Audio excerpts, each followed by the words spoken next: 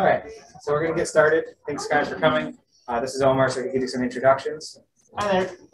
Um, so thank you guys very much for coming, making the trek. Um, everybody who I talked to definitely had a worse commute than me, coming from down upstairs. so we do appreciate you guys making it over. Um, Dr. Hopkins was going to do our intro for us, um, but we're having some connectivity issues. They can hear us, but I don't think we can hear them right now. Can you can Um, you hear me now? I we can hear you just a little bit. Uh, I will turn up my mic. Uh, how are you doing there? We're doing well. Can you guys hear her? Yeah. Yeah. Okay. Yeah, we're all good. You can hear a pin drop. Let me see if I can. Where Microphone is- That's what I'm wondering is if we can. It should be going through audio, but it just for some reason isn't. All right, Or we can, uh, is the speaker like down there? Dr. Hopkins, if it's okay with You you, can lift the laptop and face the speaker. this way. Sure. I'm gonna let you speak and then I will just repeat what you say for everybody else. Or speak loud. Yes. I never have a problem speaking loud. That's how I started my career. So, uh, and I will speak briefly because we do want to get on to the more exciting part of this meeting. And I want to welcome everybody, whether remote or in person. This is a large group, and hopefully the next one we have will be in person. And uh, we're really working uh, on a lot of exciting things.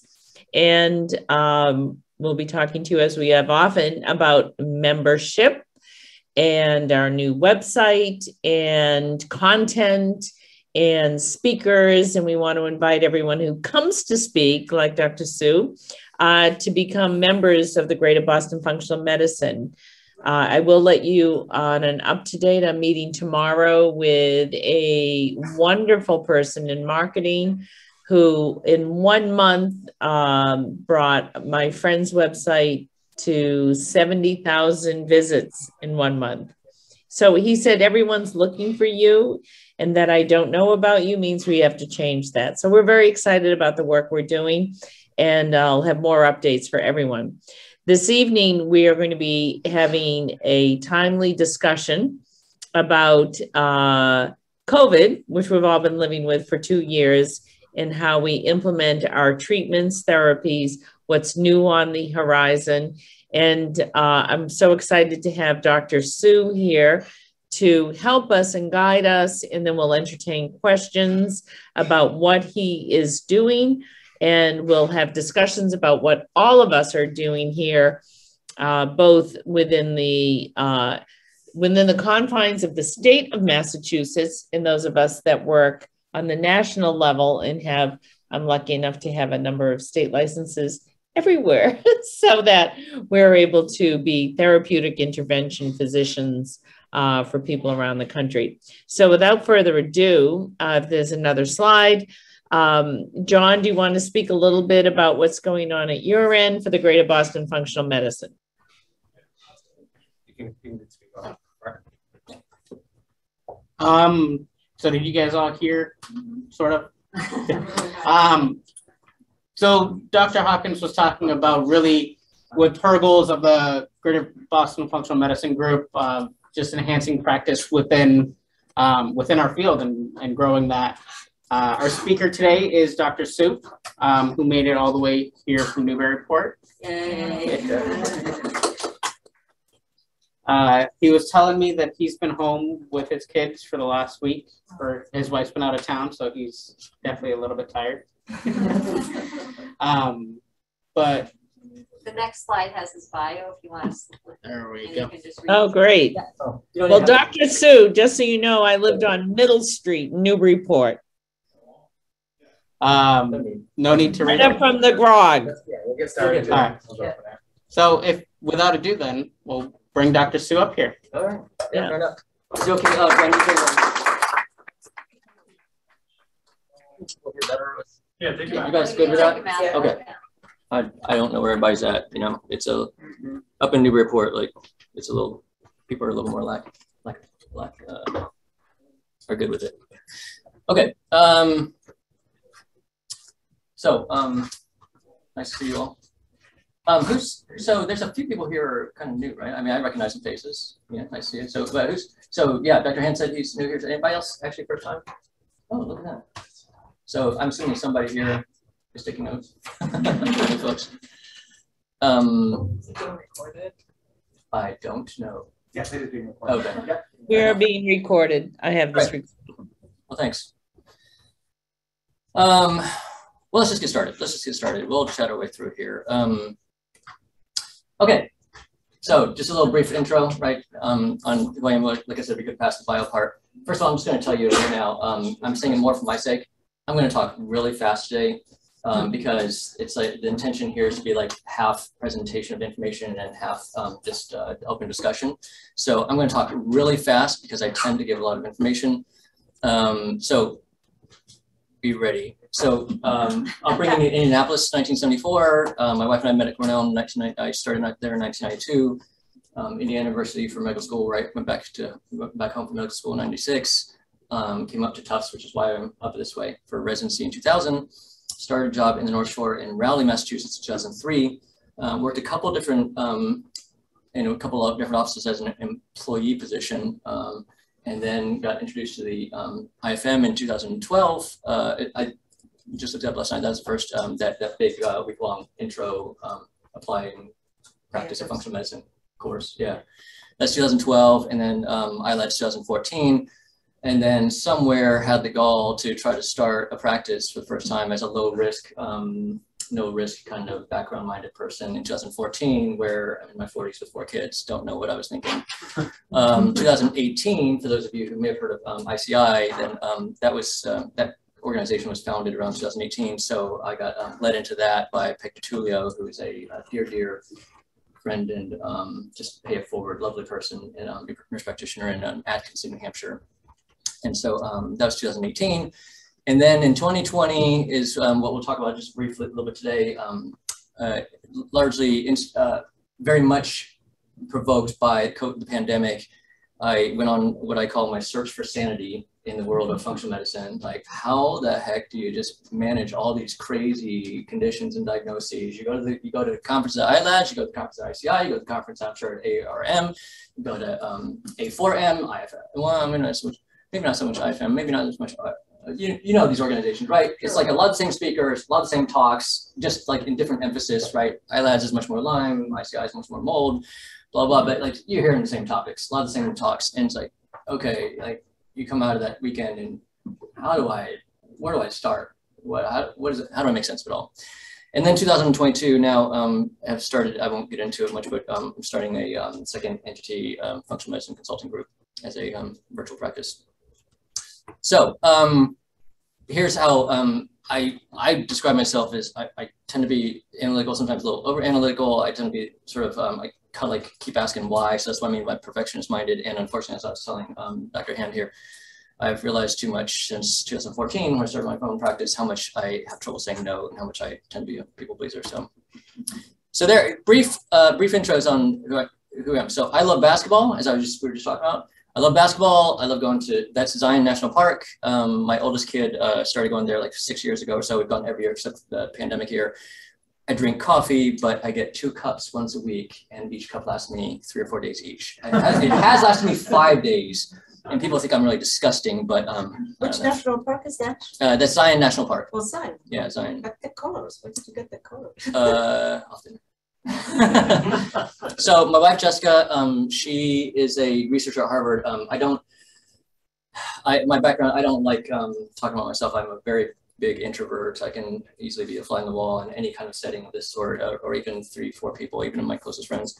My wife, um, but I will I will brag about her all day long. She is, um, I would argue, top top three, maybe top three researchers in the world with the world of metabolomics, if people have heard of that term. Um, in fact, she is um, the president of the International Metabolic Society, and that's why she's out this week, is because they're having their conference um, in Spain right now. Um, lots of interesting stuff that they're doing, including in COVID, so I will refer to her here and there.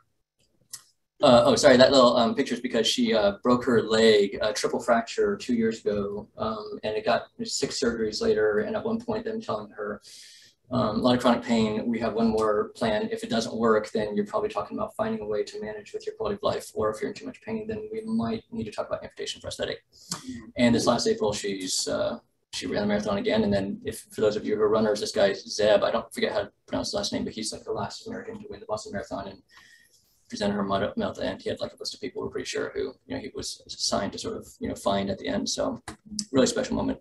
Here's the youngest kid. Um, he got into Squid Game before we even knew what it was. For those of you who know what that show is, I mean, it was just our older kids were horrified that he'd watched it. We didn't even know what it was. You'd already seen the whole episode. He's gotten into this uh, the, the meta quest. It used to be called the Oculus, so he's kind of walking around like doing that kind of thing, you know, here and there at. No. Here's my um, daughter. She is like the third parent in the family, of course. A lot of you know that about her about daughters. She's a soccer player.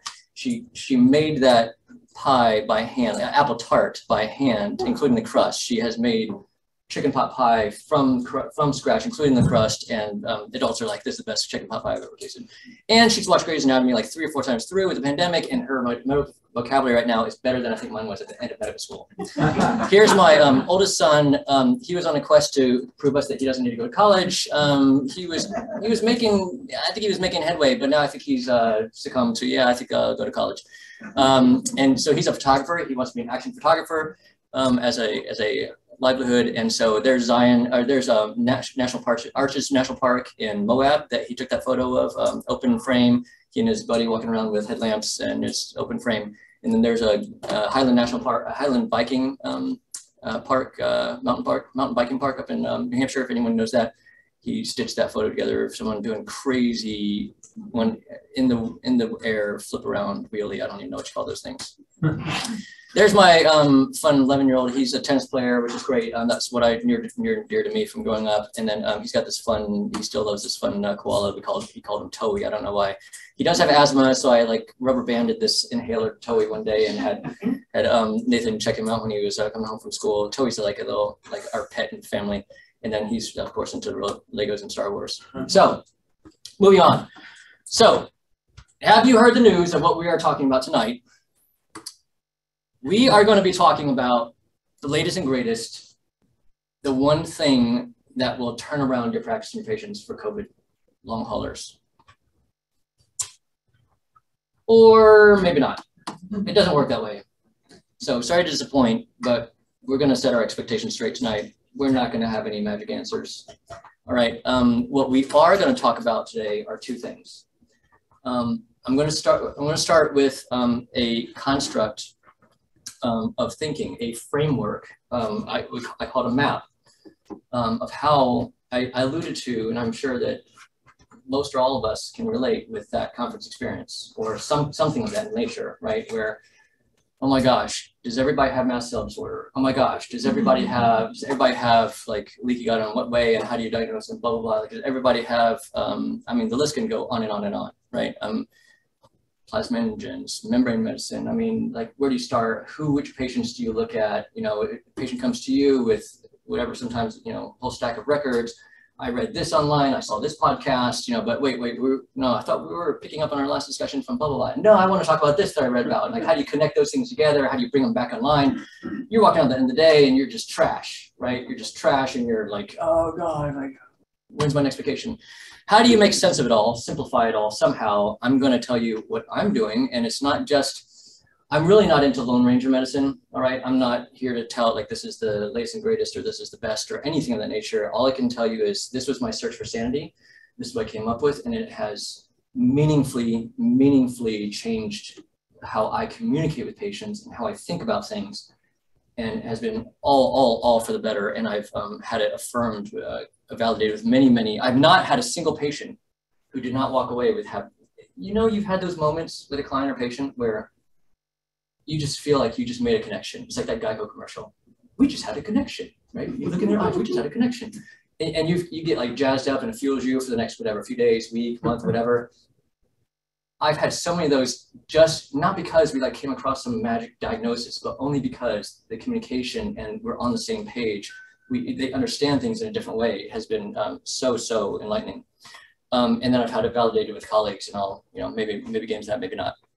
And then we're going to talk about specifically COVID-19 and long haulers. How does that fit into the framework? And I'm going to actually just zip through the sort of take home points from um, how many familiar with FLCCC? I'm assuming most everybody, uh, so maybe two thirds. Um, Pierre Kory, one of the doctor's names. So he presented at, um, I'm currently um, I didn't mention, so ICI, I mentioned that 2018. I'm currently the um, vice president for that organization. I really don't know how I got at that point, uh, place. I really have no business being there, but there I am. Um, Pierre Kory was um, probably the biggest uh, attraction speaker of the conference, uh, the virtual conference we just did like a month ago. And so I pulled his slides and um, just kind of like, I'm going to give you a Cliff Notes version of that. Okay. Because, like, hey, I'm not, I don't have any special tricks for COVID 19. Does anybody else? Um, we'll talk about that at the end. But, you know, I'm, I don't, have magic tricks. All right. But what he presented, I would say, um, really reflects the map, reflects the framework that I think through, and reflect um, and and my, my office staff now think through, and more and more colleagues that I've been working with nationally are thinking through. So um, we'll go through that. All right, let's get ready to rumble. So this is what I call, sometimes I call this map, this framework, matrix medicine, right? Because like, it's not one plus one equals two. It's not one plus two equals three. It's like one plus two plus three plus four plus five equals what, right? There's so many parts to the puzzle. It's so complex. How are you juggling so many things when you're talking to the given patient in front of you, much less you're reading something or you're in a conference? How do you juggle it all together? It's it's mind-boggling. It's you know I'm sure many of us have been in conversations with colleagues or with our own selves in our own heads, right? Like I wish this just would go into AI. Like we need an AI, we need a Watson or something like that, right? Okay, so this is the, I just use this as an example because this, I love using this with patients, right? And so my, my kids, like at least used to, like went to Imagine Dragons um, concert with my oldest. Um, so the lead singer, the tall guy in the bottom, uh, I love the picture of the top. Love the music. Um, he's got ankylosing spondylitis. Does anybody know that? Some of you knew that. Okay, so he he's out. He's he's you know transparent. I've got ankylosing spondylitis, and look up to date. Most everybody knows up to date, right? Sure. Check this out. Several elements: genetic background, gut microbiome, innate uh, lymph, immune system topic, stress at the anatomic structures. Like if you think about it, this is a multifactorial, multifaceted condition with multiple trigger or uh, pieces that contribute to what manifests as ankylosing spondylitis. Okay, so I love that example.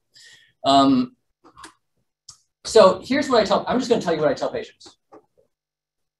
And then we're talking about chronic health patients, right? Chronic conditions. Everyone's got a personalized health map. That map is made up of three parts. It's a three-part equation. And, and that combination is basically like the padlock, all right? Somehow that lock, that, that padlock, like your bike lock is, is locked. How do we find the combo of those multiple factors? Is it, is it a three digit padlock? Is it a five? Is it a seven? Is it 12? To be determined, but it's a padlock. And it's probably not even that there's one combo, okay? And, and do does the sequence matter? These are all questions I hope you understand the analogy I'm getting at with, with clinical work, right?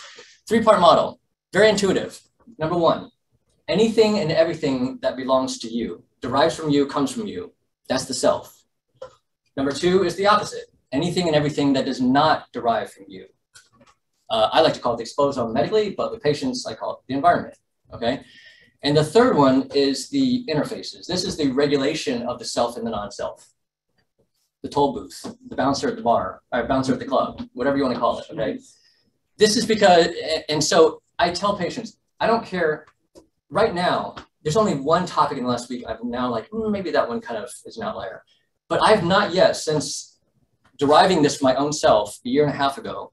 I've not come across any topic at a conference, even the most esoteric thing that I don't know, I don't, I've never heard about, never made sense of, never heard, you know, exposure to. I've not come across one topic that I can't fit into this framework. And at least from my categorical thinking and learning and assimilation of information can make better sense of and walk out of conference going, okay, I can kind of compartmentalize that and I'll learn about it more later. And I can, I know how to re re-tap into that if I come across that again? Or how do I, you know, think about that with a patient? Okay. Um, so let's get into it, right? What I tell patients is this. Um, each part of those three parts of the map, we can characterize to great degrees. In conventional medicine, mm, to some degree. But when, for those of us who understand there's a lot more of tools, diagnostic tools outside of conventional medicine, there's a lot of tools to assess and characterize those three parts. So under, under the self, the right side, you got the environment on the left, and these are just kind of arbitrary subcategories, okay? And then the interface in the middle. So let's break it down. Um, I'm sorry, ultimately, the real message is, what is that given person's bug and toxin exposome profile? What does it look like in depth and in, in width, in spectrum? Not all bugs and toxins are equal weight. Um, but what does that person's profile look like? And collectively, how much has that bug and toxin profile collectively impacted the self, specifically the immune system? I would prefer to say mitochondria, but for me, it's kind of like one and the same. The mitochondria is on the cellular level, the immune system is kind of like on a, you know, a larger, larger level. Um, I won't say tissue level, but you know what I mean. Um, and the weaker the interface is in the middle, the weaker the toll boost, the weaker the, the, the bouncer at the, at the, at the club, the more the bugs and toxins have faster access and a greater impact on the self. All right. I take no credit for this. All right. I somehow came across this term in the literature somewhere uh, just before the pandemic or around the early pandemic, inflammaging. Is anybody familiar with that term? Okay. Because I, I'd not heard of that term before. Um, my friend, um, my first boss who now works for uh, Mark Hyman's office, he said, oh, Mark Hyman's like coined that term. He talked about all the time. I was like, ah, I don't know about that, but nonetheless, fine. Uh, so Mark Hyman talks about a lot I'd never heard it before. Um, inflammaging. So you see the three parts, right? So this is more like in the regenerative medicine world. I think uh, my sense of this in the literature is it's more about anti-aging on a cellular level. And as the uh, slide here pulls from that abstract, we're talking about the big thing is here, chronic, that's right there. They define it as chronic, sterile, low-grade inflammation. And there's three parts to it. The non-self, they call pathogens, but let's just call it right, the equivalent of exposomes, the self, and they call quasi-self. But you see right before quasi-self, they're talking about the gut microbiota. I mean, it's basically the same idea here, okay? Um, I just asked myself, well, okay, they're talking largely about like senescent cells and aging in that regard, but look, what if we take chronic, sterile, low-grade inflammation and ramp that up to chronic, not so sterile, kind of meaningful to high-grade inflammation, all right? That's, this is where the map comes from, really. So when I show patients, I go, look, under the exposome, there's a lot of topics, right? For, I think, I think I would assume everybody here is largely familiar with, if you want to talk about Lyme disease alone, however we want to define Lyme, right? Borrelia, Burgdorferi specifically, all types of Borrelia, co-infections, whatever you want to define it as. How big of a topic is that alone, right? I mean, how long, how long can a patient be stuck treating quote unquote Lyme disease, right? Months, years, a decade, and they're like waxing and waning, maybe getting better overall, but like they're, they're always stuck. And we're always stuck trying to figure out why they're stuck how many, I don't know how many of people here are familiar with the topic of not mold per se, so I hate that, I'm just kind of stickler in terms, mold, mycotoxins, mold toxins, but those of you who are familiar with the surviving mold richard Shoemaker um, certification, which is what I initially, how I met Peg initially, I was looking into that. Um, oh my God, like that's, how many times you have to reiterate that with a patient so they actually start to understand the overall structure, right? And how long does that take to get through that? I mean, years, months, like, you know, another mold hit, another mold hit, you know, oh, we're in regression, regression. That you could be stuck in that forever, right? But when you look at the big map, that's just a small piece of the overall big map, right? There's so many other pieces. How many people, we all know, everybody's talking about food reactions, right? In my book, it's largely because, hey, that's something that patients or we as individuals, we have more control over. It's something we can do something about for ourselves that we don't have to depend on a practitioner about. But look, like how many people how many times do you actually like have a meaningful, you know, game-changing um, uh, outcome just from identifying one, two, even three foods that they eliminate? I mean, it happens once in a while, but it's not it's not the game-changing piece, right? In my book, hey, that's not a that's not the self, it's not a bug, it's a, at least a potential toxin. We don't like to think about food as a toxin, it's a potential toxin, right? Because it has it causes reactivity. Same thing with environmental allergens. Hey, no big deal. I'm sneezing, I'm itchy, blah, blah, but it causes immune reactivity, right? It's part of the profile of bugs and toxins that are going to impact your immune system. Okay, so here's the list of like self stuff, and this is not all inclusive. Uh, we can test for all these things. Mitochondria, like what options do we really have for testing mitochondria, right? I mean, from my perspective, sure, we can talk about organic acid testing and stuff, but mm, it's not that great. Membrane medicine is probably more where it's at in my book, and I'm really, I have some connections to talk about that if uh, we probably won't have time tonight. But um, autoimmunity, like that's not a good thing, right? But it's a self. It's a dysfunctional part of self. So I list under there. Your interfaces, we all know gut 70, 80%, right? I always tell patients, hey, like, remember, on the average person, there are more bacteria in your colon alone than all the cells in your body combined. That's daunting, right? There, on average, are more bacteria in your colon that do not belong to you than all the stars in the Milky Way. You literally have a galaxy of bugs in your colon. You want to talk about the importance of the interface and the barrier, that regulation of the gut. Like, no wonder you've got 70% or 80% of your immune systems line up against your gut lining. I mean, it's like all the threat is there. It's 24 7, right? We think about environment, we're thinking about what we breathe, see, smell, you know, touch, whatever, but it's all unseen right inside you. Okay, this is what I call the back nine. I'm not a golfer, but I don't know. It's nine items. It's just fun thing to say. Um, these are topics that I tell patients, hey, this is not like your root bottom line issue within the, the three part model.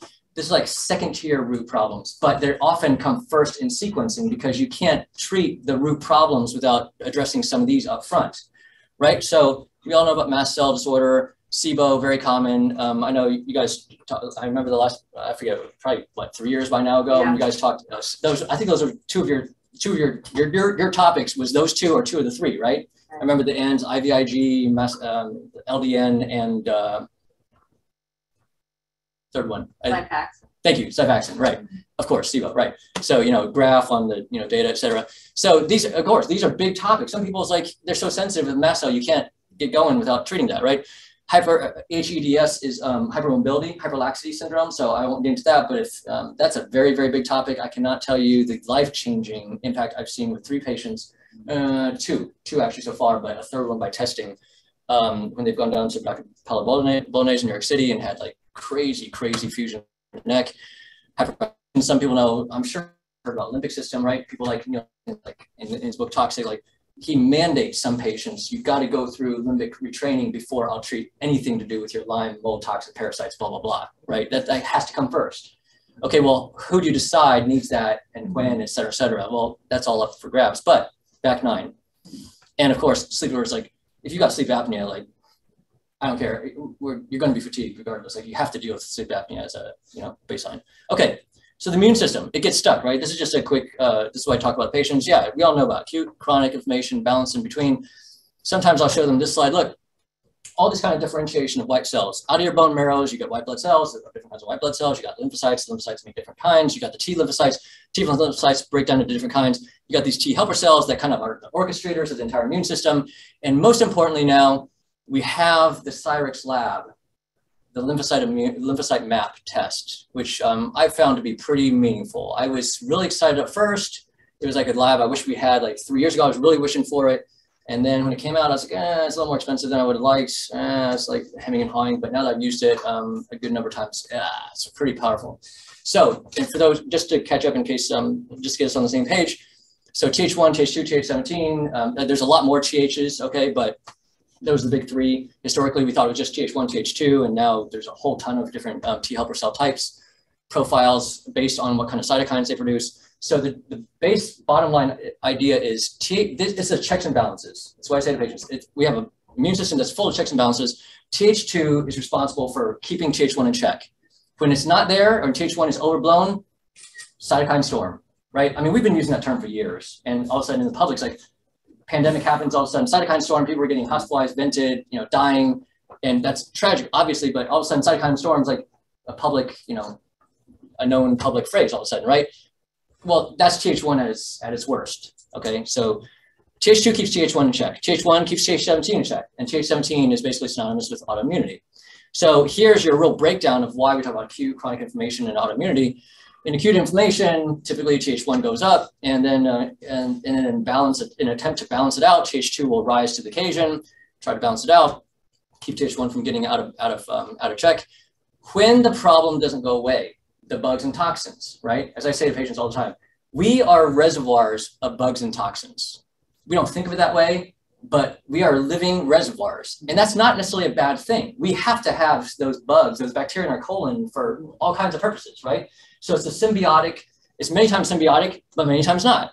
I, I, I don't know, I like to think of the illustration of, because I'm my kid, Star Wars, Mos Eisley Cantina and the original Star Wars, right? You got people in there that are good guys, right? Luke Skywalker, Ben Kenobi, R2D2, et cetera.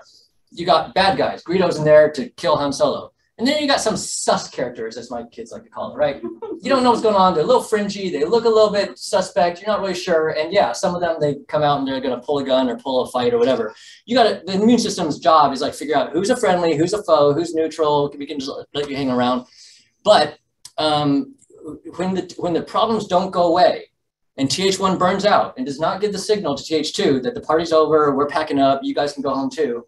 TH2 stays elevated, and now TH1 goes further down. So now TH1 is burned out and is being suppressed by TH2. Now you don't have the break on TH17, and then autoimmunity develops, right? A lot of this stuff is like Alessio Fasano, who's the uh, GI researcher at um, Mass General, you know, basically put leaky gut on the map, um, uh, researching the cholera vaccine, and that I don't think ever happened um, in 1999, 2000. Funny story, like to give you an idea of in my wife here. So I'm getting ready to go to the IFM conference. I think it was 2017, 18 on autoimmunity. I don't, my wife's telling me as I'm leaving the house, like, where are you going? What's conference again? And then she's looking it up on, on her phone. She's like, oh, that, that keynote speaker, the first person, Alessio Fasano, I've got grants with him. I was like, I don't even know who the guy is. I don't even know his name. She's like, yeah, tell him I said hi. Oh, the second person, that's that. He, she works with him too. I have a grant with her too. Don't know who I am. Tell him I said hi. All right, fine. I mean, that's that's we live on these opposite ends of the world. She's like all in the research world. I'm all in the clinical world. There's, as we all know, the in between is like a void. But um, it's fascinating the kind of stuff that she and I talk about sometimes. So uh, we all know about autoimmunity, right? I tell you, like like if you watch TV at all and you pay attention to commercials, like the percentage of commercials that are about biologics is what two thirds, three quarter of the commercials now. I mean, at least everything's an autoimmune problem. Migraines, even right on some level, or sometimes. So let's shift gears. That's the map. Um, shift gears, and I'm reminding myself I got to talk a little faster here. Um, here's Dr. Pierre Kory's talk. All right, so I apologize. I can't. I don't feel right um, allowing the slides to go through uh, for sharing because I've I wasn't able to reach him. But he's a he's a very collegial guy. Very uh, he came across as very humble to me. Um, you know, I, I, didn't moderate his session and talk to him directly, but nonetheless, this is his talk. All right, uh, select slides with summary. So this is now specifically to do with COVID-19. His talk was on long haulers and post-vaccine injuries, kind of uh, not totally synonymous, but we'll get into that. So there's a, first of all, there's a difference between hospital versus outpatient uh, long haulers, right? Much more acute, much more respiratory based when you're talking about hospitalized patients. The outpatients, um, more commonly, the symptoms are starting weeks after, sometimes feeling fine in between. Um, and it's milder, not as necessarily respiratory based. I, that kind of rang true with me. A lot of patients we have who are either suspect or known are very, very like clinically diagnosed as COVID long haulers. Their shortness of breath is not seemingly a major issue. A few, but not not major. Um, so he, this is a slide he was talking about um, in the context of vaccine injury, but I would strongly believe um, in totality of the talk that he would say that this uh, applies to the post-infection as well. Look at, so here we are, multiple intersecting and overlapping pathophysiologic processes, right? Again, multifaceted matrix medicine. It's not a single one entity. It's not just people with MCAS. It's not just people who have had Lyme or mold toxins or whatever you want to say in the background. We don't know the whole combo. What's the padlock? We don't know, okay? But if we structure out for ourselves a construct, a framework, it's at least, for me, it just keeps me sane and even more so when I'm talking to the patient, they can follow what I'm thinking about. Okay. And now, now the trust is like a whole nother level. And when they read stuff, they can put that in a better framework. And now we can have more meaningful engagement conversation subsequent to that, that um, meaningful uh, discussion. So, so uh, these are these are all the, the side pieces are just my little um, inputs, right? I've got a little couple linings, highlights, and I've put in little things just to say, hey, where do these pieces fall into the map? So Overlapping effects, persistent inflammation, obviously everybody knows about that, about that. Autoimmunity, yeah, clotting cascade, I think everybody knows about that. Hypercoagulation there, right? Viral reactivation, some, I think we've all talked about that, right? There's, um, uh, I talk about that all the time with patients now, like uh, chronic recurrent reactivated mono was always this like taboo thing for years and years and years. And now in the context of COVID, it's talked about like it's just secondhand nature, like everybody accepts that, right? Like okay, thanks for, you know, a little slap to the face or whatever. But um, mast cell, of course, everybody knows about that too. So you see, right? Self immune system, self autoimmunity, back nine hypercoagulation, exposome issues with viruses, but this is like persistent um, viruses that are in our bodies as a reservoir, mast cells, back nine topic. So I can like go through a slide and go through a presentation and go, okay, that's how that fits and that how that's how that fits what topics might I might I might have to deal with up front as a back nine topic before I can address the actual root causes, et cetera, et cetera. Um, again, mononuclear cell activation. All right, so this, these slides are kind of more just fleshing out the, um, the summary slide there. So he goes into thrombogenic um, clotting cascade activation. Sure, large clots, microclots. I think everyone's familiar with that kind of stuff, I'm assuming. Uh, activation of dorm- dormant viruses. Yeah, we I think we're all familiar with that stuff with the monotopic, especially. Um, uh, yeah, I don't know about you guys, but we've had um, I think three patients in our practice who have had like shingles in their eye that the optometrists or ophthalmologists are now saying, yeah, we're seeing this more with COVID. So that's become a question now. There, we've had one or two patients where the ophthalmologist, optometrist, whoever must have been an ophthalmologist said, we actually want you to take, you know, Valtrex or uh, whatever equivalent, like indefinitely. We're like, wow, just for that one time episode. Um, mast cell activation, all right, we know about that. Again, ultimately immune dysregulation, right? For me, if I look at that whole map, if I'm given any given patient as a new patient and I can only do one test to start assessing where they're at, what's their current status, and where to look next, it's the immune system. Now, what does that look like? If it's a conventional testing, that's one thing. If I can do the Cyrex lymphocyte map too, even better. But it's the immune system. That's for me. Like if a person's got immune deficiency, right? We've got a lot of patients doing the IVIG also, right?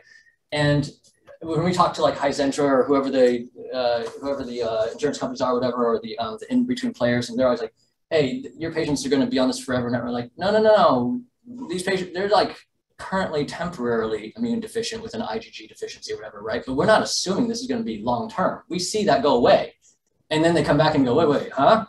Like, yeah, yeah, that's you know, when you look, you find out that's not always the case. Um, so if I see immune deficiency, and I'm not saying this is the truth, right? I don't have data to back this up, but I'm telling the patient, the way I think of that in the map is you have enough bugs and toxins. And if you if you tell me I've been sick so many times since I was a kid, I was on antibiotics so many times, I had all these infections, I had I've had meningitis or meningitis scare, I've had pneumonia two times, I've been in the ER for IV antibiotics X number of times. That's another story. But that's really, really rare for me, right? Most people are like, I never had a health problem until I was 35 or whatever, right? And I'm now 53. And so I'm going, I don't have clinical evidence to say you've got primary immunodeficiency from birth. So I'm assuming there's a good chance you have what I'd call secondary immunodeficiency. That's reflecting for me, you've been loaded with bugs and toxins. It is impacting you, even if you don't have like meaningful clinical symptoms. Say, well, I'm not on antibiotics twice, three times a year for sinus infections, blah, blah, blah. I'm like, yeah, it doesn't have to be that classic infections, you know, Lyme, Moltox, whatever. It could be like chemical, POPs, whatever. But your immune system has been impacted enough that I'm seeing evidence of immunodeficiency. Whether I'm looking at the IgG uh, subclasses, the IgA subclasses, um, I, I cannot tell you. I mean, it's not a ton, okay, but it's just it's so alarming the number of patients I've seen. What, you know, because we do a hybrid primary care and consulting in our practice. So I've got patients who I, I just routinely offer the, um, the immune testing. Just, do you want to know what your immune system looks like? I've never had a person say no. All right, so I, I can look at the, uh, the subclasses. I look at the, um, the lymphocyte sub subset. It's subset number one in Quest. It's on the T cells and natural killer cell panel for LabCorp. I've had like a handful of patients who they're never sick, quote unquote. They're not on antibiotics, but they are like IgG subclass whatever deficient. They're IgA subclass whatever deficient, and they've had low CD3 or CD9, uh, CD4 or CD8 or all the above. I mean, it's it's crazy. And I'm like, how did you get to where you are? You're 72. How did you get to where you are? I don't know, but we're concerned about you. I'm concerned about you going forward. Okay. So uh, again, intersection number of factors. You got genetics, this self. You got exposome, the mRNA load. Sure, you got um, estrogens into the hormones. Um, that's self again. Back nine nutrition status. Uh, so this is where therapeutic approach for Dr. Kory. There's a core protocol he talks about, um, and then he's got second and third line category uh, therapies we're not going to go into great detail here because none of it's like a magic answer. Um, he, he said that himself and would say that currently it's like everyone's different. Okay, must be individualized. So a lot of the stuff we're all familiar with, right? Intermittent, intermittent fasting, ivermectin, hydroxychloroquine, we're, we're familiar with that. So vitamin C, yeah, we all know about that. I, I circled low dose naltrexone just for, I mean, Johnson didn't ask me to, you know, highlight anything, but there you go. Because it's a nice segue. Omar steps out like right in bad timing because he's going to talk about LDN. Um, you know, I think I'm sure everybody's familiar with the question. Obviously, probiotics like no brainer, omega three fatty acids, sure. You know, we know about the um, anticoagulants um, or you know blood thinners, etc. Um, so again, but here, like previously, I didn't. The other slides I didn't mention. You know, I didn't see anything like with the gut. But look at that. It, he just states it as an obvious. Vaccine injured patients classically have a severe dysbiosis. So he just puts it like hey, this is like common and classic. All right. Well, obviously there's a gut interface issue. And then you got patients. I got a patient who's going to tell me look, how many times do you have a patient that you want to go digging into gut health issues and they're going, I don't have problems. I poop at least at least every other day, Yeah. even every day. Some patients like three every three times every two days. I don't have a problem. I don't have bloating. I don't have I don't have heartburn. Why do you want to deal with my gut? All of a sudden now, when you point to the when I point to the map and I go, look, you've got immune deficiency. It's going to be worse when your interfaces are bad. You can have gut health issues and not know it. It's under the hood, right? People have high blood pressure all the time and they don't have any symptoms. Yeah. It's it, and all of a sudden the light bulb's kind of different, and all of a sudden, ah, that makes sense, right? So you want to do like a stool test, you know, whatever, or you want to you know look into it or do X, Y, and Z. All of a sudden, it's a different ballgame of discussion. Second line therapies, all right. So you know, I'm I'm assuming most of us have come across the fluvoxamine discussion. Sure, um, mitochondrial X, Y, Z, NAC, everyone knows about. Sure, steroids. Um, Yeah. Third line. So this is I, I highlight HBOT because he was really big, really, really big on HBOT. That's one of the take homes I'll throw out right now as a um, as a sort of cliff cliff notes. Uh, he was very big on HBOT. In fact, he was. Um, I remember him saying, "Yeah, you know, I talked about it with my colleagues, going, wow, this like it's helpful enough that we should just invest in HBOT. So I get a bunch and start, you know, having our patients use it because we're we're using it so much." He says, "Well, yeah, but as a conventionally trained guy and you know not used to this kind of um, integrative world, you know, he's an intensivist, right? So." But his practice is now almost exclusively uh, virtual consultations for post-vaccine and uh, long haulers. And so, um, and now he's like introduced into the um, functional and integrative and less conventional medicine world. And he's like, yeah, I'm just not, I'm not comfortable with prescribing somebody to do something that we're, you know, making money on. So, but that's how big a deal was for him, right? He thought about it. Triple anticoagulation. I cannot speak to the maraviroc, uh, or however you spell it, I pronounce it. Um, I know he spoke about it, and it's kind of like, uh, plus minus. Um, I don't. I was. I just left up here just to give you, uh, you know, awareness of what he was talking about. Brain fog. Again, uh, he mentions LDN is a big deal. Again, I'm just teeing. I'm just setting up the tee for Johnson's there. Um, so here's here's where we're at. The the, uh, the Cliff Notes treatment highlights really where he was big, big, big on HBOT, and then um, hypercoagulation. He was. It, it wasn't so evident on the slides I just showed, but he was very big on talking about that. You know, fatigue, um, coagulation in the muscles, coagulation in the brain, brain fog, et cetera, et cetera. Mast cells he was big on. And then, of course, the big thing that was kind of like this nebulous topic was what's the underlying comorbidity profile? Right. So, um, how many of you are with um, Mary Ackerley? Uh, some people call her the neuroquant queen, right? So, she's one of the co founders of ICI. So, you know, she, um, uh, and so she's on our board, of course, as well. She's um, past president. And, um, you know, that's, in fact, I think at, uh, I don't remember if it was a board meeting or it was a mini conference of some sort, but, you know, she, she re, re, re uh, that, re, re summarized that. Is that the right word, capitulate? Right word? Uh, re that saying, yeah, so Dr. Kory, you know, talking about um, long haulers, it's basically like HBOT and yeah, figuring out what their, she didn't say map, but basically that's what she was saying. Like you got who has what the underlying problems are and, and how do you address those underlying issues to basically reduce inflammation, reduce chronic inflammation, however you want to define that. Mm-hmm. And I'm defining it as what does your map look like? What are the exposome players? What is your, do you have an immune deficiency? Do you have a, an interface deficiency? Right. And so that's a, this like big uh, black hole box, but um, all of a sudden I'm saying, nah, there's a lot of, there's a lot of, lot of more. For me, I like to have an organizational structure. I don't like to just, I, I, I don't know, it's, it's that sort of um, why questioning kind of thing in me that I, I just, I'm just not comfortable just shotgunning everything. I, I'd like to have some kind of, some kind of rationale of what I'm doing. So again, the translational proposals to me are hypercoagulation. So, so here's the thing, right? Anytime I come across those back nine topics, I'm asking why, because those are not, there's a reason for them. Almost always there's gotta, there's, in all likelihood, in the majority of those cases, there's a reason for it. That is an underlying further root problem that falls within that three-part map. So if, if someone's got hypercoagulation, I mean, I, I, had the hospital calling us every day about you got another critical D dimer, you got another critical D dimer, and like my, my staff's like, oh my god, like do we need something for DVT? No, no, it's not DVT. You know, they've had COVID or you know, blah blah, or hey, these people just had it, we didn't even know it. Like, how many people are walking around with a high D dimer and don't know it? It seems like it's quite a bit. Um, so if someone's got hypercoagulation, then I'm going back and saying, look, the immune system is not just about defense; it's defense and repair. When you've got hypercoagulation, it reflects to me your immune system is ramped up because it's trying to repair something. What is that something? What's the cause? Now we dig back into going working backwards. What's your exposome profile? Do you have interface deficiencies, etc.? Same thing with mast cells, right? Do people just born with mast cells? I don't know, maybe, but the majority of times, right, in the in this in the Schumacher, uh, the Richard Shoemaker um, protocol and you know, this is Mary Ackerley's world right there with NeuroQuant. One of the big reasons she loves NeuroQuant and, and teaches people about it is that the cerebellum and the thalamus, when they're when they're enlarged on the NeuroQuant, you can bank your money on someone you think you halfly suspect they've got mold toxins. You can bank your money they've got um, you know uh, CIRS by Richard Shoemaker topic, or I like to call it um, SIMS or SIMIs for chronic inflammatory mold and mycotoxin condition because it's, it's a semantics thing again, right? Mold, mold illness, eh, mold, mycotoxin.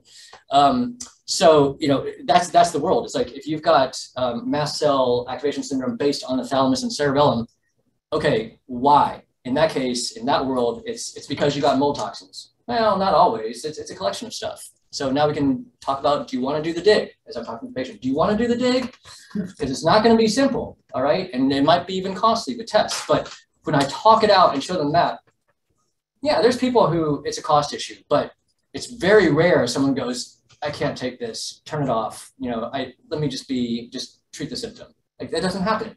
All of a sudden, it's at least, oh, right? And it's at least, how about we negotiate and how about we do this testing and that's abnormal then let's go into the next steps and as a year later i'm having the same conversations and i'm going remember we talked about that map let me quickly review again what that means like three part map and blah blah and we talked about this before and we did that digging but we didn't do this digging we don't have your full map so do you want to dig further now because your symptoms are ongoing yeah let's do that digging now right um, okay um, that's it. Uh, I probably I didn't pay attention to my time. I apologize. I probably went past the 30 minutes. I'm sure Omar's. Uh, in fact, he is already. I'm so late. He's, he's left.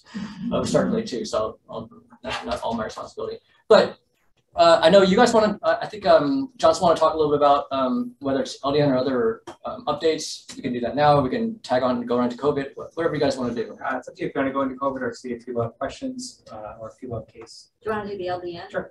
Yeah, yeah. Let's talk about LDN, and then we'll. The intention is really just to discuss like what are you guys seeing and doing with COVID, with the long haulers, and vaccine injury, and learn from each other. Perfect. I think most people here have used LDN in the past, um, so everyone knows sort of how it works or you know how to use it.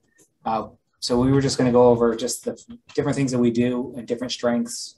Uh, obviously, 1.5 to 6 is sort of the standard. Uh, 4.5 is still the go-to dosing. Uh, nighttime dosing is still the best. Obviously, if you get the uh, crazy dreams or trouble sleeping, you could change it to daytime dosing and then switch back to nighttime dosing uh, after a month. And that usually helps the patients regulate it and they don't have those same issues. Uh, we are doing a lot more, we're seeing a lot more as liquid, liquid preparations as well, uh, just so people could titrate easier. And a lot of the patients that fail we're seeing a lot of them go back to 0.5 and then work up slowly. So if you're seeing patients that have issues with it, um, especially if they're going through, you know, different things with mold or other issues as well, uh, COVID, you can start them lower uh, and then just go up slow. So if they fail, try to restart them, which we're seeing, again, still a smaller amount of people. Um, and then just glutathione is one of the other big things that we're seeing with COVID uh, glutathione inhaled. So we do an, uh, the inhaled nebule cap uh, for people that are having lung issues or uh, trouble breathing, issues with lung tissue.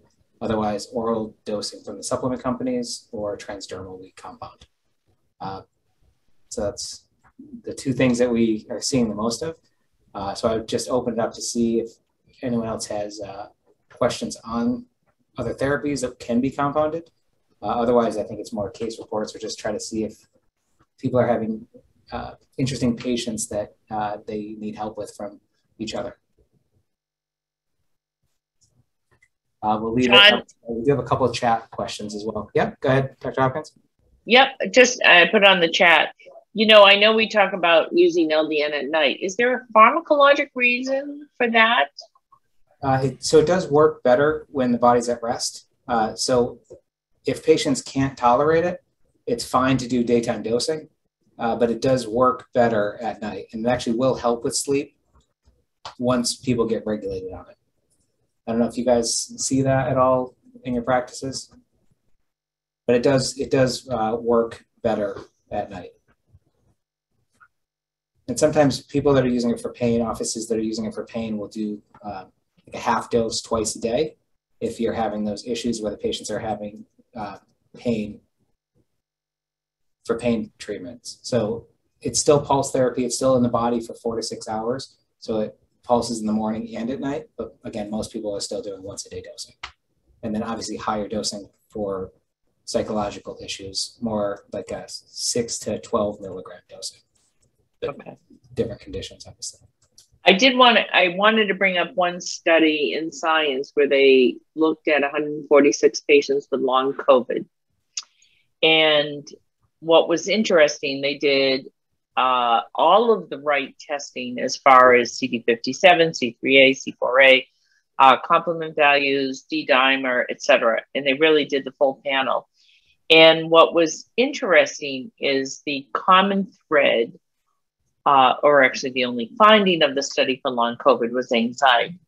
Now, did COVID precipitate anxiety? Did anxiety precipitate COVID, long COVID? And we have, you know, reached across the aisle on this discussion from the 70s when fibromyalgia became a diagnosis, and then Lyme, then chronic Lyme, chronic Epstein Barr virus, and I think we need to come up with a clinical, scientific, and a community based response to it's just all anxiety. And I do not think that is the case. I think that people have a culmination of exposures and then uh, debilitating symptoms. And who would not reach the point of anxiety dealing with all of these? However, what was interesting is that the data really points to dealing with the neurologic mental status, the sleep, and how do we, and Dr. Su, I, I welcome your, your thoughts on this, which is really making the person whole within the aspect of peace in their life.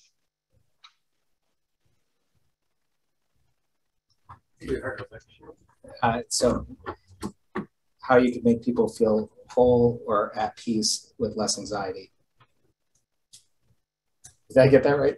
Uh, you know, because we're dealing with people where we're the only, you know, in 146 patients clearly followed with long COVID, anxiety was the overwhelming uh, symptom, not a CD57, not their IgG, you know, all of the things that we look to as sort of hard facts, but rather this soft uh, presentation of their ability to handle being sick for a long time.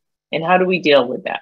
How do we encompass that and not, and not, as you said, this should be no shaming in that, but rather this is the outcome of how you suffered through this. And as you said, many times a combination of mold, Epstein Barr, you know, so many uh, viruses, long term infections, and and how these people are handling it. Any thoughts on what you we I know what we're doing, just wondering what you're doing. yeah. Does anyone have any good suggestions for that? Obviously, sleep I think plays the biggest role, but any um, anyone I mean, uh, there are a couple things that I do. One, you know, even though this is a new disease, it's not like we haven't seen virus problems before. And so we're not like totally shooting in the dark. We have a sense of doing things because I think part of the anxiety is is that no one knows what's happening and no one knows I'm gonna get it better, you know, and so like reassuring. The other thing is is that um, when we don't have enough oxygen, the body should give you a warning sign that you can't breathe. And for some people, that's anxiety. And so, like, part of you feeling something's not right is part of you understanding that something's not right and we're going to address that. And so, once they realize, okay, once my body starts to feel better, I'm going to feel better, then that's useful because you can go in both directions. You know, anxiety can cause shortness of breath, but shortness of breath can cause anxiety. And so I think that when people tie into, okay, this is my body talking to me as opposed to I'm going crazy, that's helpful in calming people down.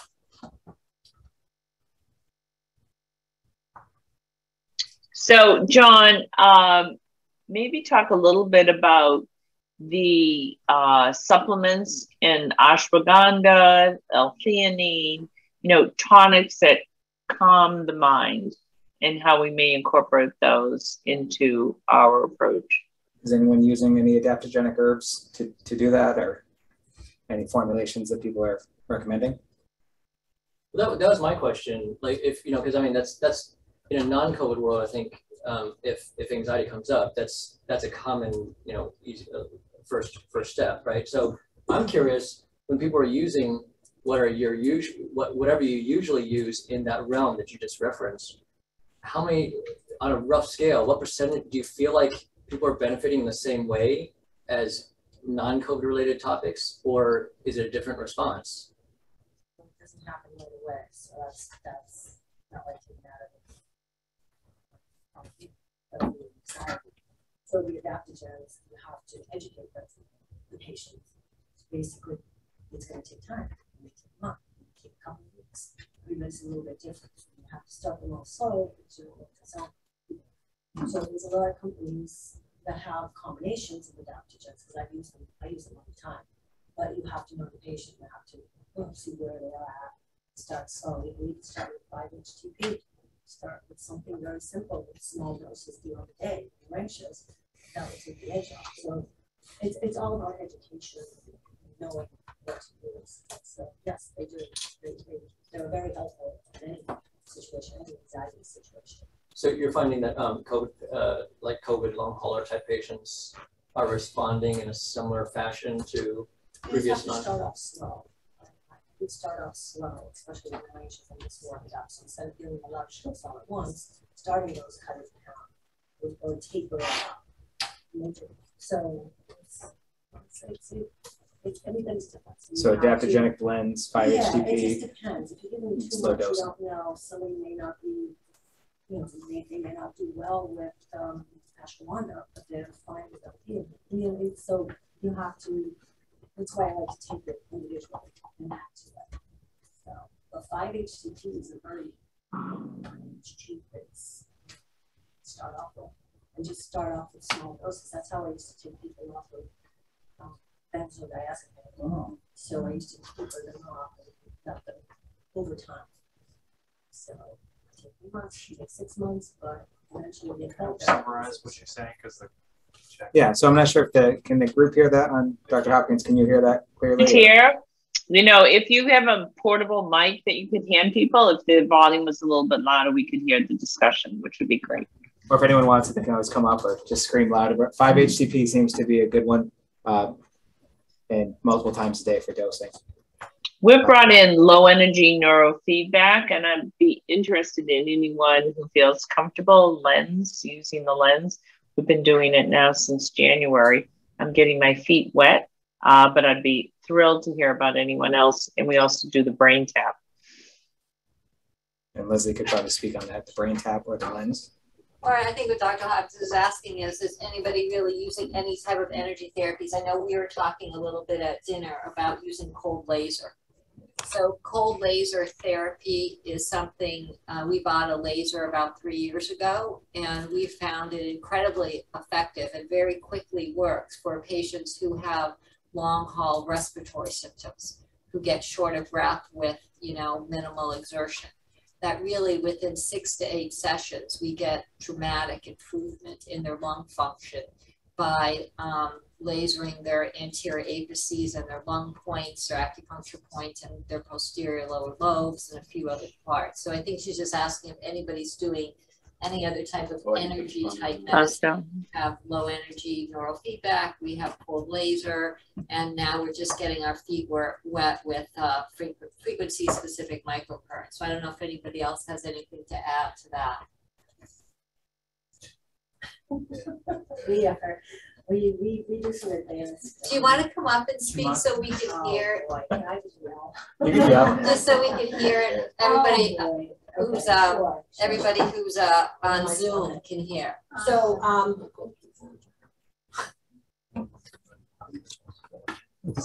Sorry, where do I scream into? Go for it. This way or that way? Either way. Okay, so uh, we're using some bio um, it's called biofields, but it's bioresonance. And there's energy programs that can, um, if you have low energy, it's a way of testing. You have to be trained how to do it, etc. So um, we will be offering that in our practice. We just opened up a practice in Norwood, uh, as well as um, cryotherapy, um, um, saunas, and uh, hyperbaric chamber. So we are actually, uh, we deal quite a bit with uh, athletes, boxers, and um, uh, MMA, and, and so a lot of injuries, and, and, and it heals. So that should help with the anxiety. It has so far, Lyme disease, a whole bunch of different disease states. So, so it's very effective. It's wonderful. Thank you. Yeah, Europe is the pride. Yeah. Yeah, it's, it's, it's, it's Originated. bioresonant, so it's, it's in food allergies, everything, everything you're talking about, the bio, uh, the biome, everything. So it's just, it's, uh, a lot of learning, but it's, um, it's worth it. Yeah, I think, um, having heard about the mitochondrial and, uh, sort of implementing its, uh, increasing its function or uh, so forth, uh, we've been also, uh, looking at, uh, the NAD, anti.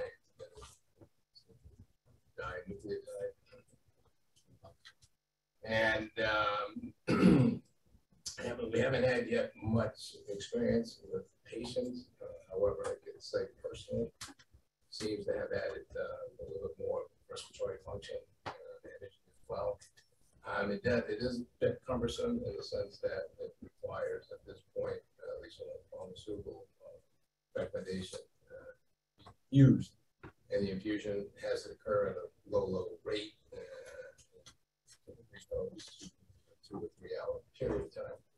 So that in of itself can be a bit cumbersome for patients. I know it was definitely cumbersome for me because seven three hours a lot to ask. Um, but um, there are alternative, uh, I've heard from uh, other individuals that utilize it as well, that they've been getting by with using it um, uh, sub-Q or sub-Q injections on a daily basis. Uh, how they came up with the particular dose, I think it was trial and error. And uh, so, you know, sort of another avenue uh, regards to uh, molecular so forth, enhancing. Uh, one other thing that sort of uh, add in addition to that, I guess uh, like to do a gunshot approach of certain things, especially I guess one is not working, doing something else and continue that pathway. Um, I mean, trained in the past where uh, it was more of a sniper approach, but I think with what I just heard in this lecture, with all these um, multiple variables and variants and so forth, maybe the sniper approach isn't going to be uh, practical anymore. Uh, and that's the stem cells and exosomes and all those great things that I think became more of interest uh, during the pandemic. In fact, I know for a fact it became more interest of interest during the pandemic because I was an individual who uh, actually uh, feel to this very day survived uh, before. And, um, uh, you know, that, that would take another several hours to talk about you know, the different variations, the, the way uh, patients implemented, whether it's uh, uh, amniotic versus, you know, there's a process of utilizing adipose tissue and processing it to stem cells. Uh, a lot of that work has been done internationally. Uh, fortunate to have a colleague uh, who uh, was able to have the time to go to all these various countries and explore the different processes and so forth that they come up with. Uh, and the end result are um, millions of uh, stem cells. And I think that's done because it's, it's a, a, little cheaper way of doing it as opposed to relying on processing it through amniotic fluid. Uh, and uh, that, at the end of the day becomes uh, quite an expense with regards to purchasing it and adding that uh, purchase price to the patient. Um, so yeah, no, I think this uh, era that we're in uh, seems to require a lot more advanced thinking. it's of note that when I say advanced thinking, a lot of countries have done this for a good number of years. And again, I think the stimulus of the pandemic looked into what other countries were doing, what success rates they had. And uh, it's fascinating, you know, that all sort of comes down to uh, non-chemical type of things that, uh, you know, sort of in the past. So, very entertaining lecture, I enjoyed it tremendously. And uh, I think the challenge amongst all of us is um, sort of putting it all together and seeing what sort of protocol may be of usefulness to your patients. And I think one particular protocol fits uh, one individual. It's going to be a challenge to kind of figure out, you know, what you use, when to use it, how often to use it, and so forth and so on. So That's good. Anyone else doing anything um, unique? Or just what are you doing? It doesn't have to be groundbreaking. What do you think helps?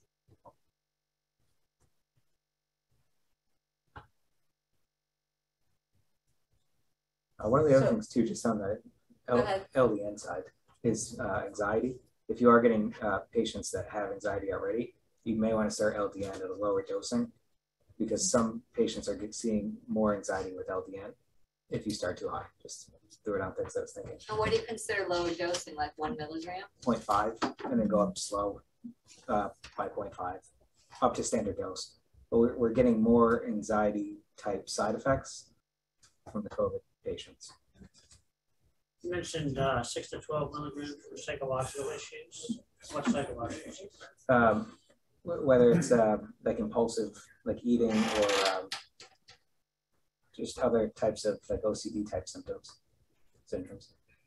And would you start them at a, at a low dose and ramp, ramp up to six? Yeah, or- even those like 1.5 to 4.5 is still good. It just seems like those patients need higher dosing, whether it's a six milligram twice a day or just a nine or 12 milligram dose. And how do you know that they need more?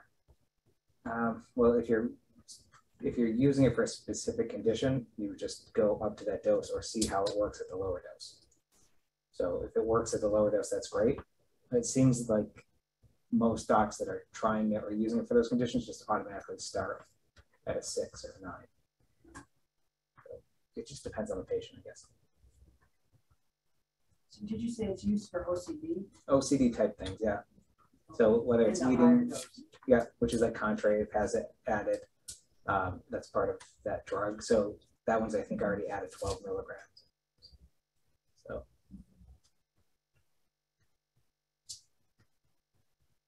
And tell us about the liquid form of LDN. so liquid form, same concept. It's, I think it's a five milligram per ml, and you can just dose dose up. And again, obviously capsules are always easier for people, but if you know you have a sensitive patient or they're already loaded with other conditions and you want to start slow, either start with a 0.5 capsule or a liquid. How do you price this? Uh, good question. I can get back to you on pricing. Uh, I think it's similar to the capsule dosing. It just depends on the volume. But um, Chris can reach out and just get back to you on it. I think she was asking US currency versus crypto. Yeah, crypto, only crypto. Uh, If it was crypto, I should be in trouble. Not good today. Not good. For chicken eggs. Yeah, exactly.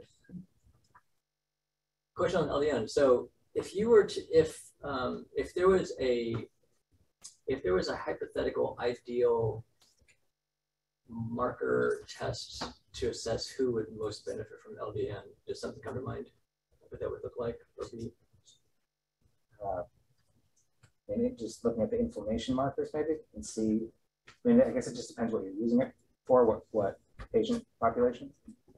Uh, So then maybe on based on that, would you say if someone's, if someone's just got, uh, more, uh, again, more based on, um, test based here as opposed to symptom based, all right? So if they, if they, if they just have a lot of abnormal inflammatory markers, let's say they're, they've got a MP, MMP9 over 500, they've got a TGF beta 1 that's, um, I don't know, it's called 5500 plus, they've got a, um, they've got an elevated D dimer, um, they've got fatty liver, right? That might be mild hyperglycemia, et then you're expecting that person's going to benefit more than someone who's got, say, like half or third of those. I think it should be in drinking water. Um, so it's, it's tough. Um, obviously the liver one's the only issue anyways because of the drug itself, but I, I think any inflammatory markers or any any conditions that we're seeing it being used for, we're seeing positive results. So it's it's an I just call when I talk to patients on it, I say it's a neat drug because it's just so unique and everyone that tries it, I'd say 90% of the, ch- the time it works well for what they're using it for.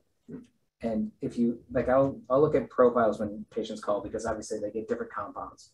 So if I look in their profile and see that they were on LDN and they stopped it, I always ask, you know, are you still on it? Because they may they may be getting it from someone else or uh, they may have just stopped. And when they stop, I usually ask why you stopped. What was the the reason? A lot of it is, you know, some docs will throw them right on 4.5 and they just don't feel good, and they can't tell you what they don't feel good. They can't explain that I don't feel good. It's just they don't feel themselves. And it, when they restart it, they still have the same conditions and nothing's helping. I usually say, you know, why don't you check back with the doc, maybe start a lower dose. And those patients that have started a low dose have done fine on it after that. So it's it's it's really interesting and I mean everything from um, arthritis now. I mean a lot of the rheumatologists are using it. Um, SIBO Yeah, SIBO. we're seeing uh, a lot with the gut and a lot of um, just regulating stool and just changing that. Um, I mean, I'll, I'll talk to patients about you know what your stool like when they started for arthritis, and you know if they're not normal, usually the next time I talk to them, their their bowels are regulated. So it's really it's just really interesting. I've seen it help gastroparesis. not sure if I've seen that one or have patients on it. Because obviously, as the pharmacist said, we don't always see the conditions unless we unless we ask, and I haven't haven't seen that one. And what mechanism of action of the drug do you think, like, are the, are the key points for us to understand that gives it this kind of wide effect? I think a lot of it is just the way it works in the gut, and I think a lot of that translates to how it works on the immune system. Uh, but I think that's a presentation in itself, and Omar would be great at giving that one. Uh, so he had to step out, so he's a lot better at uh, at speaking on these things. But I think a lot of it is uh, the gut, how it works in the gut, and how it works on the, um, the gut tissue. Are there any questions that Yes, and now, yes. people want to ask of the group in terms of uh, working with COVID patients or just in general? We really wanted to set aside some time for people to just freely speak and um, ask any questions that they have. I have a question about the inhaled, um, is it the. Um, cause I have a patient who has long COVID. And she was diagnosed with COVID, uh, fall of twenty twenty. And since then had to step away from her job. Uh, she has shortness of breath just even speaking.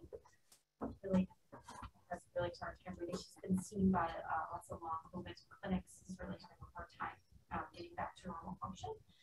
Um, and I'm just wondering about, this might be a good option. She actually has a good relief with the hyperbaric chamber, but only temporarily. Um, not for, she does that for another. Um, so I was just wondering about the inhaled and how that would be prescribed. Yeah, and the laser sounds like it could be a good one too. The for, laser would be very Where is the good. laser, where would, like, how does that, would I get, like, I'm just curious about getting. Yeah, we haven't taken outside referrals. It's up to Dr. Hopkins, but Okay. um, I don't, I'll give you my contact Okay. information, Yeah. but um, that's one of the things with the long haul COVID that we have seen that has the most dramatic effects Is it- most quickly. Long, long, is it something that sticks? Is that the thing? Yeah. Yeah, okay. And they do, we do thirty minute sessions with the cold laser. Okay. And um, generally, after the first session, they feel better. They're not recovered, but like, okay, Yeah. I, I'm feeling a little bit better. And so we try to get them to do twice a week Okay, for four to six weeks okay. And commit to doing it in a row because there is a cumulative effect. Mm.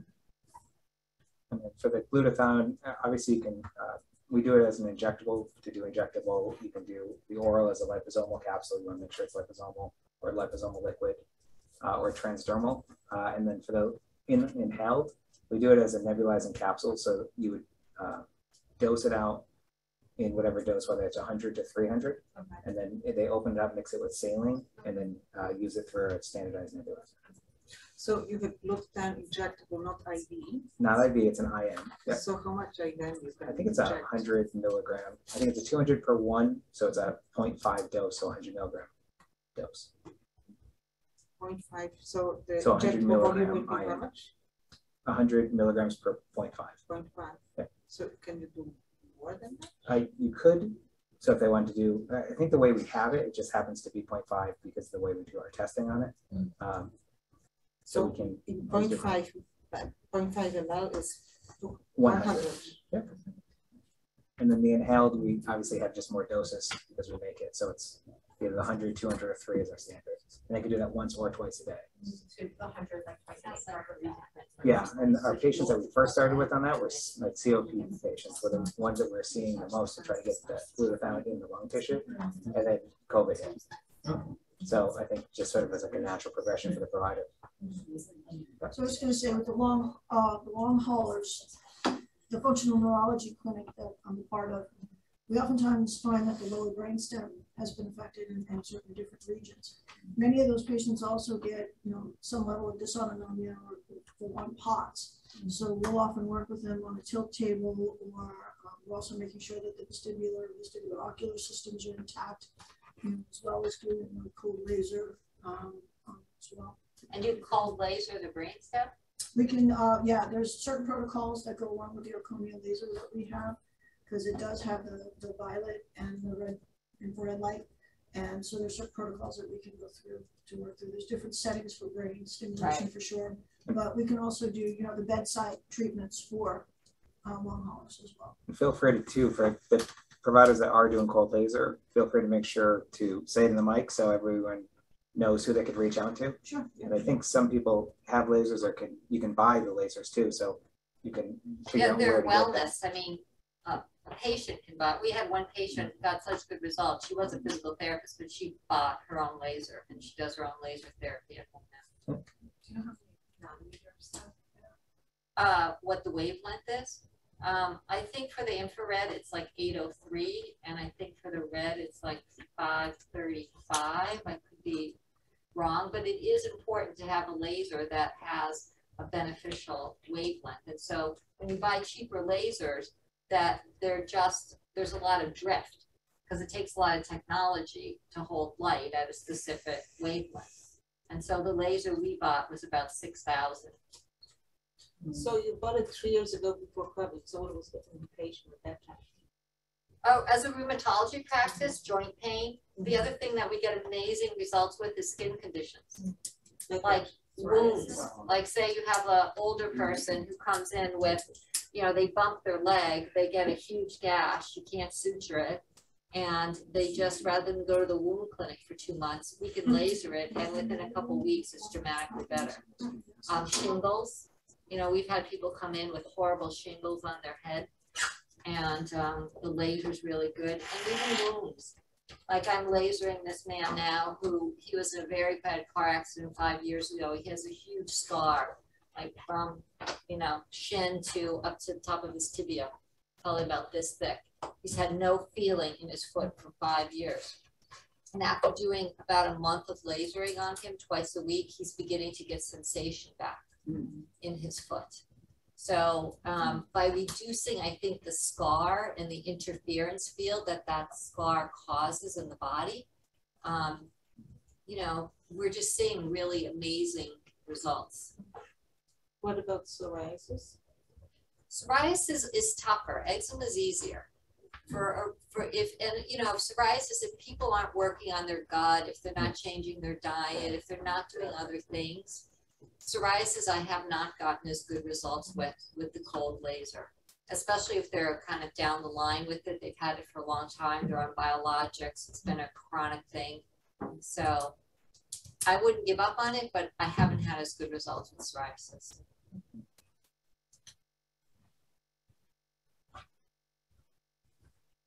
I have a question for Mark. Uh, in one of your talks somewhere, you were mentioning about app. Was the app? I'm sorry, An app, an app? yes. How did you, how far did you get? Oh, from, not tonight? Not from tonight, Yeah. was someone else, someone else. Yeah, uh, yeah, but, so I, I, um, I was, um, connected by, um, the guy who does our website, he's actually in Pakistan, connected me to a guy who's in Serbia, and, um, so I said, like, I, I need, I need this, I need a program because it's too much time, effort, work to like input everybody's data, I got to pull everybody's lab up, or, you know, all these, like, you know, multiple pieces of data, so, so yeah, we were started working on an app, um, you know, really just for, um, personal slash, um, you know, for the, uh, usage. Um, but yeah, so there, so it's, um, it's in process. Um, he has a, um, he has a beta version. It just isn't, um, you know, it's not really pretty usage. So yeah, for me, it's really, I mean, you know, ultimately, so what I, one thing I maybe failed to say was, I was just looking on my phone because I was, on the way here, I was texting my wife asking, because she's, you know, she's in Spain on this conference, but the, the, the premier metabolics researcher in the world is in Australia. His name is uh, Jeremy Nicholson. He used to be from the UK, um, Queen's College, I think it was, you know, premier school and uh, university there. And then he got offered like multiple, multiple billions of dollars to open this program in Australia. And um, uh, the guy is apparently just like a genius type guy, right? A Savant type. And so she said um, they have a metabolomics, they have a metabolomics profile on blood testing where they have high, high, high confidence of being able to predict who's going to have long COVID. Um, you know, and so that's the kind of, but but ultimately, the point here is that what they do in research with metabolomics is basically how I think of. I mean, it's just kind of meant this way, right? This is that's that's how I think about this, this framework. They they basically the way I think of it is like they take blood samples and just measures everything they can measure and then they take computer algorithms and say, okay, what are the connections, what sticks statistically to whatever, you know, degree, et cetera. And they come up with these incredible, incredible connections, right? I mean, they've got, you know, she told me there was a paper as an example. I tell this patient a lot. Um, I, I don't have the details right. I asked her recently to re- refresh me on the details, and she was like, eh, I don't think those are quite right, but it's something along the lines of this 17 to 23 year old boys from a specific province in Mexico. I think she said actually, actually it was India, not Mexico. But um, if they have a specific genetic defect and they have vitamin D deficiency and they are exposed to some particular environmental trigger, I just don't remember what it is, it triggers on rapid obesity. And you can't turn it around unless you at least know and treat the, the low vitamin D first or somewhere in the early sequence. So that's the kind of, to me, that's the kind of like, for me, if we have like a, if I have a framework and I can start, you know, I or people as a community, we can like start collecting data going, you know, because all the data we have, right? The, the, the, the paradox with randomized controlled trials, I'm not paradox, but the downside is it's so reduced, right? But that's just not life.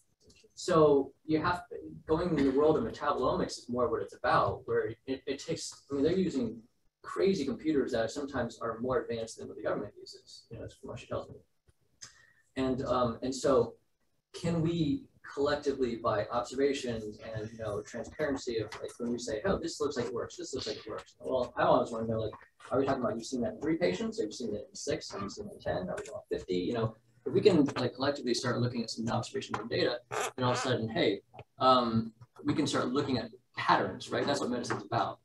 And so with this app, I'm not saying that um, you know how I think about things is data based or um, truth or anything. I've just, for me, created some kind of framework to say, hey, as I start collecting more um, observations and data, and if other people are doing the same, then maybe we can advance the clinical side of medicine, you know, a little faster, more in parallel to what they're doing in the metabolomics research side, because we know that's going to be past our lifetime before what they're doing there translates into clinical medicine, you know?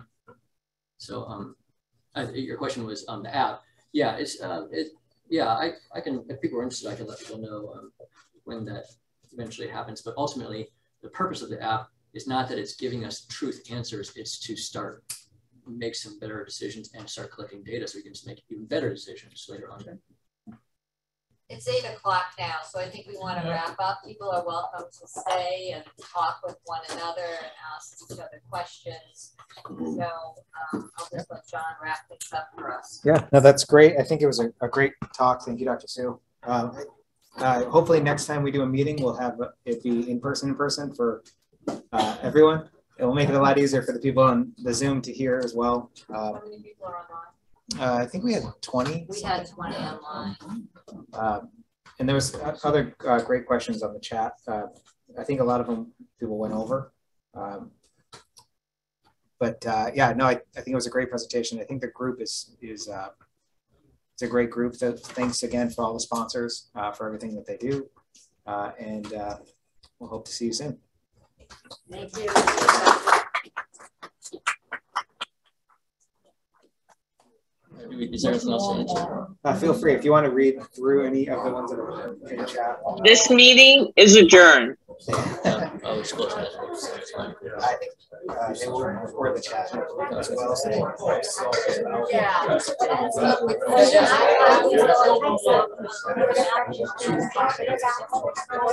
Oh, no, no, I use it, I mean, mostly I don't use it now.